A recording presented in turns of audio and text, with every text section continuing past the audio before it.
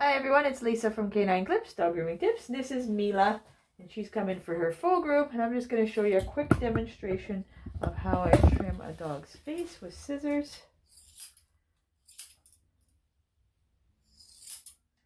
And without any restraints.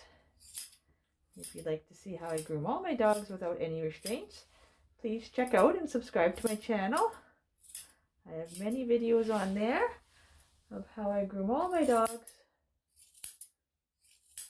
a variety of dog breeds. And I don't do any editing to the film as well.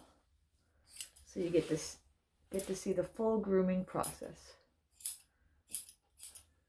Also, if you'd like to see what tools I use, you can check out the description of this video where I have that as well. So thanks for watching and I look forward to seeing you on my channel. Have a good day.